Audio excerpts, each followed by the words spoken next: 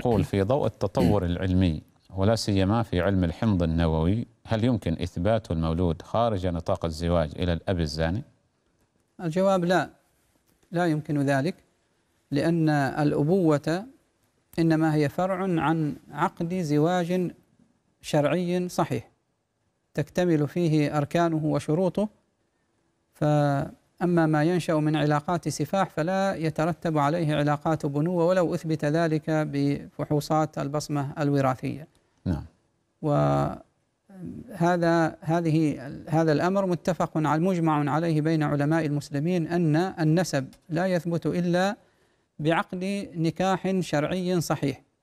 ألحق به شبهة النكاح. إذا كان في النكاح شيء من الشبهات التي ما كانت مقصودة أو تواردت عليه فحفظا للأنساب ألحقت هذه العقود بالعقود الشرعية الصحيحة وبعضهم ألحق أيضا بل, بل هذا هو الواقع أن العقد على سبيل المثال إن ثبت تبين أنه عقد فاسد كمن تزوج بإحدى محارمه دون أن يعلم رضاعا على سبيل نعم. المثال فإن النسب يثبت وإن كان العقد بعد ذلك لابد أن يكون لابد أن يبطل.